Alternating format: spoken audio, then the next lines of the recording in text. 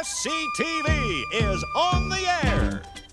SCTV now begins its programming day, starring Joe Flaherty, Eugene Levy, Andrea Martin, Rick Moranis, and Dave Thomas, featuring Robin Duke and Tony Rosato. Television like you've never seen before. This is the SCTV Television Network. And now, words to live by. This evening's speaker is Rabbi Yitzhak Karloff of Temple B'nai Hill. Good evening. Throughout history, dating back into antiquity, the Jewish people have lived an existence of continuous oppression. Each year, over 5,000 incidences of verbal anti-Semitism occur in the streets, schoolyards, and office buildings of our major urban centers. How do we handle these? Well, as many of our good football players know, sometimes the best defense is a good offense. I have asked a Gentile member of the SCTV staff to aid me in a demonstration on how to handle verbal abuse. Unfortunately, the only one available was Mr. Angus Crock. So if we can bring him on now, we will begin the demonstration. Angus? Rabbi, it's a pleasure to be on your show. I thank you for coming. I brought this radio along for the complete Gentile look. I've even got a Mickey Gilley tape in there. All right. Now you you have your notes, and perhaps Right here. we can begin. Okay? Hey, Jewish chap, when are you going to the delicatessen for some pastrami? Hey, hoodlum, why don't you go and put a tree in your living room? Hey, is that your real nose? Hey, hoodlum, why don't you go and put uh, frosty sleds and snowflakes on your window? Hey, Jew, have you had enough holidays this year? Hey, hoodlum, why don't you go and paint stripes and things on eggs?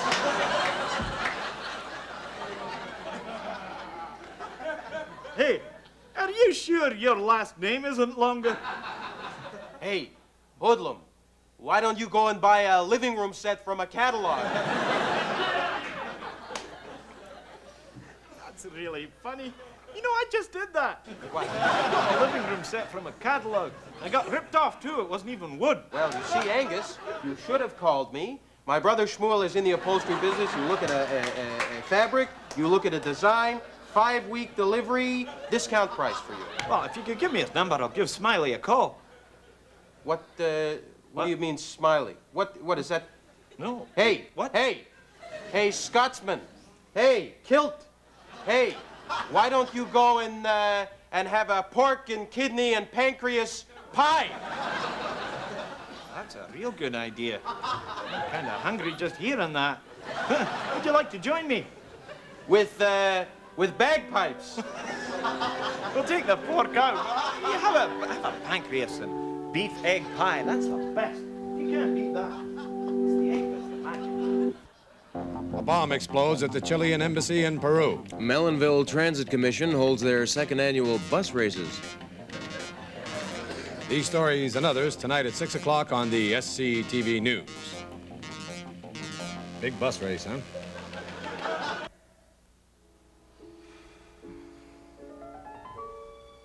Can stay if you want, Snapper. I told Mary and John I'd be there by three. Do you expect me to believe that, Jill? Why, what are you saying? I know about the late night phone calls, the last minute plans.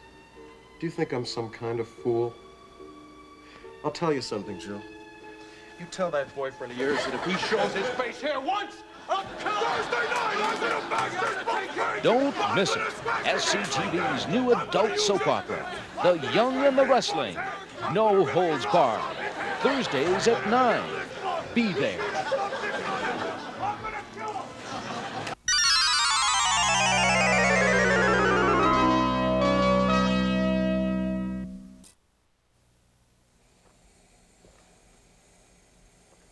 Oh, I'll do the intro this time. He's chug lugging a beer. No, that's Hi, my job. Welcome to Wel- Great welcome, White it's- North. I'm Doug McKenzie, This is my brother Bob, Yeah, eh? real good, eh? Real You're good. supposed to say, how's it going? How's it going? That's my line, eh? He took it this week. Jeez, we're burning here. Okay, today's topic is the problem of the French, eh? From the point of view of uh, back bacon and beer. Okay, like you got separatism, right? And like the most important thing to remember when you're when you're d- making back bacon is like it comes in the pouch, right? And like don't dump the whole thing in, but separate all the individual pieces and put them in the pan. So like we got like four going right now, right? So we'll have like two each, well, which really isn't fair because you had like 15 beers. so like I should get more, right? I was thirsty, eh? Yeah, well, decent. Geez, this is real hot. Okay, so those four pieces of back bacon, eh, are like symbols, you know? Yeah, symbols. Real Jeez, symbols. What the? They must. Okay, this is almost ready. They like uh, represent the four parts of Canada that don't want to be together, eh? Anyway, But if you eat them, they're all together in your stomach, eh? So that's like, the show for today. We're out of time. Good day. today, You know, you're not supposed to. You know, you gotta like make sure you know what you're doing, right? I well, you, know, weren't you even ju- there at the opening of the show. yeah, eh? we're right, eh? You were chugging beer like, and I saw the Yeah, thing but you come like on, you eh? took over. You know? Like, So? Well, that's not the way it's supposed to be, right? Take off, eh? And, and what am I gonna do? Just leave this here burning away? Well, like, hopefully we get to eat it, eh? Yeah. Well, hopefully, like next time we do the show, you won't have like 15 beers before, eh? You hoser. You're a hoser. He's a hoser, eh? Yeah, right. You're a hoser. And you're ignorant too. You're not getting any of this. Sounds like somebody's being. Yeah. What's going on out there? Jeez. This is done. Hope it's snowing. We know that'd be sad, eh? You don't want any eggs, do you? no, just back bacon and beer, eh? What are you smoking on TV for? Well, it's new lights. Hello, my name is Melba the Disco Queen. I like to boogie with my lips and get down with my mouth. That's why I've come out with a new line of designer jeans, Melba's Disco Jeans. With my jeans, you won't have to know how to dance. Just zip 'em up and watch 'em dance for you. Melba's Disco Jeans from Melba the Disco Queen. Just watch them dance, whether you want to or not. You know, Cunningham, I've been thinking about giving you a promotion. Well, that's really nice of you, sir. Yeah. Cunningham, your fly's open. Yeah, I know that. It's kind of hot in here. Zip it up. I'd rather not, if you don't mind. Will you zip it up? If you don't mind, sir, I'd like to leave it down. Now, look, Cunningham, I have important clients coming over this afternoon. Now, zip it up! All right, but I warned you. Melba's jeans are also available in men's sizes for work and for play.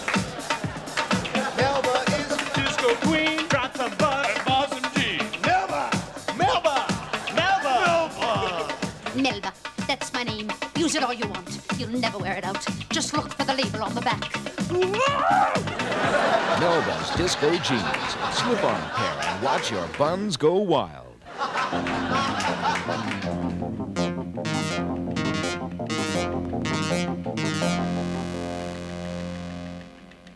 I'm Floyd Robertson, And I'm Earl Camembert. and this is the SC TV News. Today's top story The government of Togo has applied to the U.S. State Department to bring the entire country of Togo to America.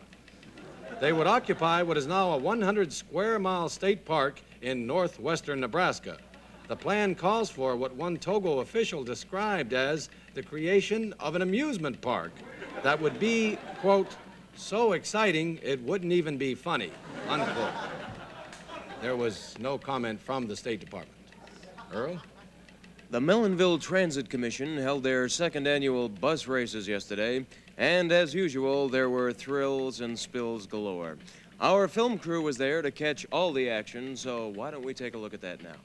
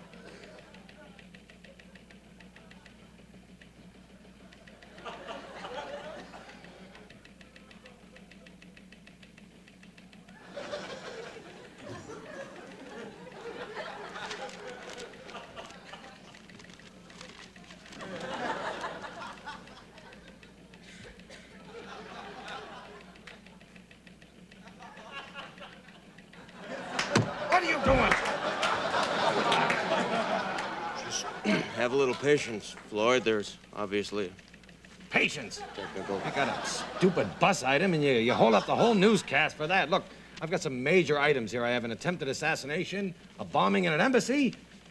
Jeez, you moron. Now about that bombing. Today at the, um... What? Great. We're out of time. And that's the news. Idiot. Why couldn't you just say we'll be back with that report later? Couldn't think of anything to say, Floyd. Thrown it over to me. I could. Over to you, Floyd. You know, a couple of years ago, a lot of people would have thought it really forward of me to call you up and ask you over for the evening. And why is that? Well, just wasn't done. But that's then and this is now, and well, I think it's all right to call a man up and ask him over for a drink, especially when it's Howard's Bristol Cream. Mm. Don't get me wrong, don't think I ask every man over for a drink. But when it's somebody special like you, I run out and I buy a case of the stuff. Hope for the best. I don't want you to think that I'm that kind of a girl, though. I don't flaunt myself at every man, but sometimes I get this feeling. When? Well, I get this feeling that I like to have a man around. Gee, I wish they had this stuff when I was growing up. You know, I didn't go out on a lot of dates. I was kind of a late bloomer. I wasn't one of those girls sitting in the back seat of a Corvair convertible running around on campus with a couple of blonde jocks. Don't get me wrong, I had friends, but you know, that's about all they were, just friends. Never saw them on the weekend, no. They were out, you know, trying to cop a few cheap feels from any buxom broad they saw. And I'd be sitting at home on a Friday night, you know, with a boss going to milk watching Route 66. I didn't even know what heavy petting was until I read it in a Harold Robbins novel on a Saturday night when the TV conked out.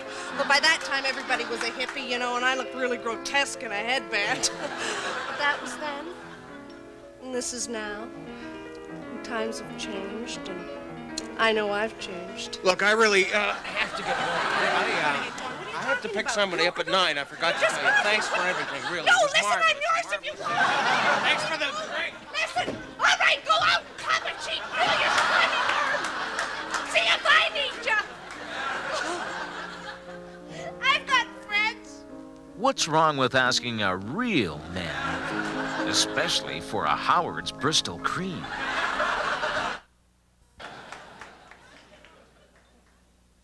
Ricky. Yeah, Dad? Introduce me. Oh, okay. And now, president of SCTV and Caballero Satellite Systems, my dad, Mr. Guy Caballero. Thank you. That was my son, Ricky, who's going to be taking over the business someday. When? I'm Guy Caballero, president of the SCTV network, and I'd like to say welcome to our fine new season. This year we are going to try. That cheap plant's still here? I thought I told you to get rid of it. Look at it, it's half dead. Well.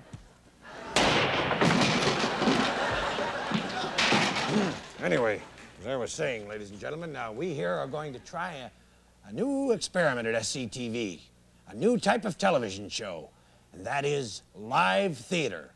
We're actually going to have the SCTV cameras right in the theater while we, uh, we film a play going on in progress. Now, it's going to be highly unique and unusual, and you've never seen anything like it before. I like live theater, and I'm quite sure you do too. There's something different about it, something exciting. Now, we won't be cutting this or anything because it'll be happening right at the moment. So anything could happen. They're filing in right now for that play, so I'm, I'm sure you're going to enjoy it. An exciting play done right here on SCTV, live, right before your very eyes. Live theater, in case you missed it, right here on SCTV.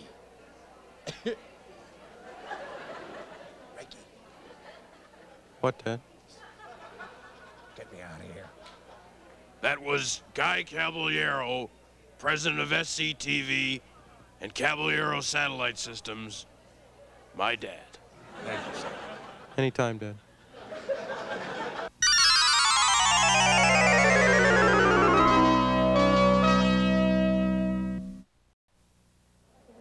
Ladies and gentlemen, welcome to SCTV's Live Theater. Tonight's performance Death of a Salesman, starring Ricardo Montalban, Margaret Hamilton, George Carlin, DeForest Bones Kelley, and a special appearance by John Belushi. And now, on with the play.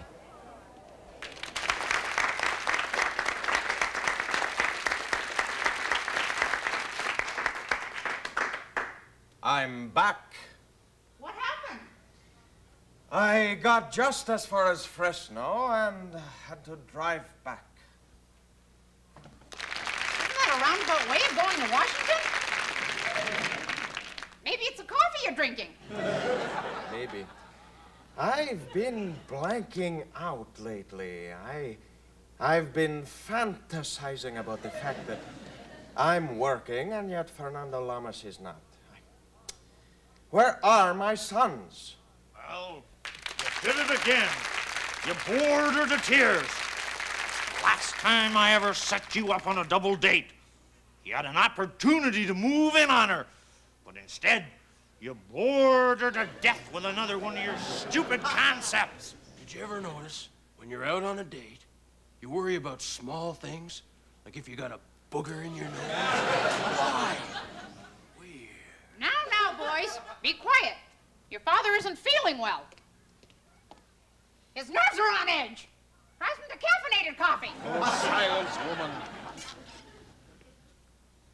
These are my sons.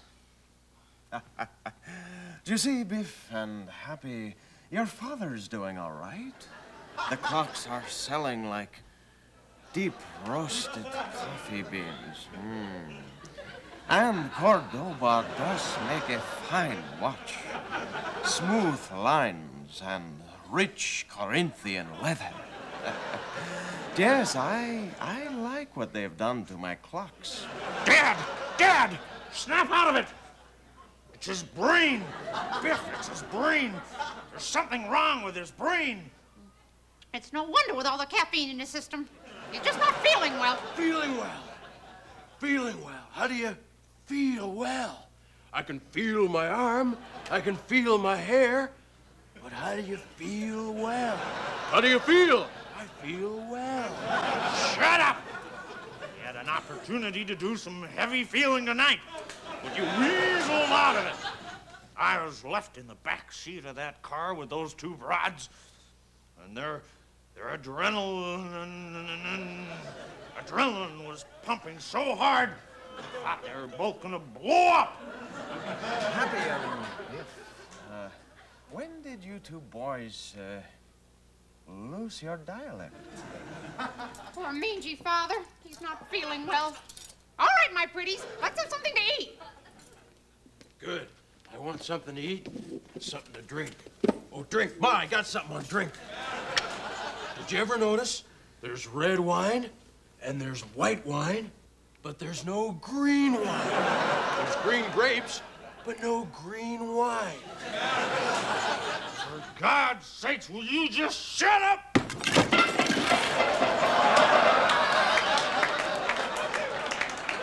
What's the matter with everybody? Haven't you ever seen a table collapse before? Well, I'm not hungry anyway. I think I'll go take a nap. That's a good idea. You're not feeling very well. Ben? Is that you, Ben? Oh, no. He's talking to that imaginary brother of his again. I hear you're doing very well out west.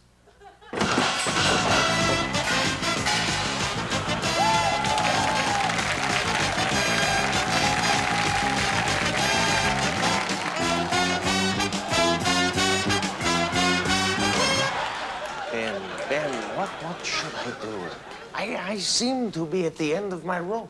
Yeah, I know what you mean, man. Hey, mind if I have some of your booze?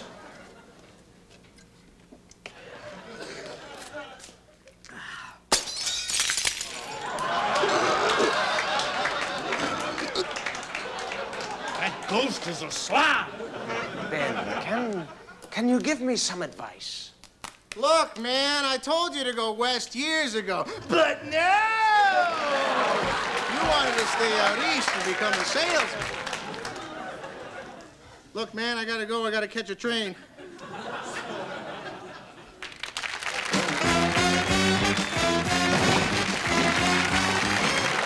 What was all that about? Now, my pretty ones. Now, Willie, you gotta quit your job and find work closer to home. I said west. Jim! Uh, I mean, Dad! She's unconscious, Jim. This alien device, resembling late 20th century Earth-type stage light, bopped her on the head, knocked her out. I could save her if only I had the helmet of knowledge. I just don't have the skills. For God's sakes, what do we do? Spock! I mean, Biff! I don't know, but did you ever notice when someone's unconscious, we say they're knocked out? Where do they go? And when they come back, are they knocked in? Shut up, you blithering idiot! Jim, we've got to do something. What are we gonna do? I wish I knew. I suppose I should get back to the island. The plane will be arriving soon with people who have paid handsomely for the opportunity of living out their fantasies. God's sakes, Jim! We just can't stand here. Has everyone on this ship gone mad? Peter, man, it's weird enough. A seed popped out of my joint and set the scenery on fire. Save the food! Must be the Klingons in the engine room. Jim's a coward. I can't believe it. Did you ever notice how during a fight... Shut up, you pointed-eared hobgoblin.